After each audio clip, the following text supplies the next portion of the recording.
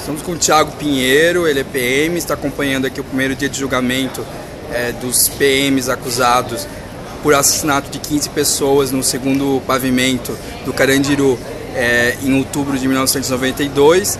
Ele vai comentar o que, as impressões deles desse primeiro dia. É, Tiago, o que, que, você achou é, dessa primeira testemunha pela manhã? Então, o... achei que ele se emocionou ele está envolvido com a ação, então percebe-se ele realmente participou daquela cena. Ah, eu vejo que, segundo o relato dele, houve algum excesso na, na chegada da polícia. Então ele relata que ouviu tiros, que houve um conflito, que o pessoal estava desarmado. Né? A gente não tem uma versão ainda oposta, então os policiais não se pronunciaram ainda, então tem como formar um caráter. Mas pela visão dele, eu já percebo que algumas coisas não se encaixam no sistema operacional da polícia.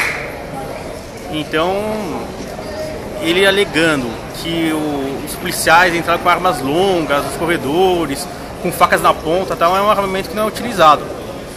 Então, uma, ele fantasiou um pouco, aumentou um pouco o, a história dele, mas eu acredito sim que a, ele alegou que o chão estava escorregadio, porque tinha óleo, que a pessoa caiu, que os pesos tentando fugir da, da polícia se pisotearam nas escadas e pessoas morreram pisoteadas.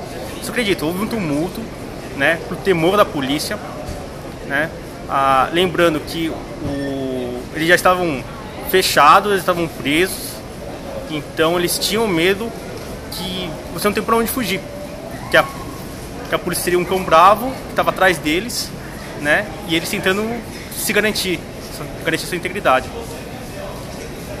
Acredito que os policiais são inocentes, né? Porque uma é ação individual, né? Então você está sob comando, são várias pessoas agindo juntas. Então seria fantasia achar que todos os policiais no mesmo momento iam tomar a decisão de não vamos matar todo mundo, né? Então não tem essa desumanidade. Então acredito que sim houve um confronto e lógico a polícia teve uma vantagem muito maior no confronto. Você acha que a polícia agiu, agiu certa no momento da invasão? Eu acho que se fosse hoje a polícia ela ia aguardar o tempo necessário para fazer a invasão, né? Ah, os tempos são outros, né? A polícia evoluiu muito é, hoje, quando você vê negociação com refém, coisa e tal, é cercar, é conter, né, e negociar, negociar, negociar até resolver. Né? O, aquele tempo, acho que não houve esse tempo de negociação. Então, a, a primeira tentativa já falhou e já houve invasão. Então, hoje, depois disso, a polícia evoluiu muito. Naquele tempo, só quem viveu aquele tempo pode descrever o que, que foi, né? O, o que aconteceu realmente para invadir daquele jeito.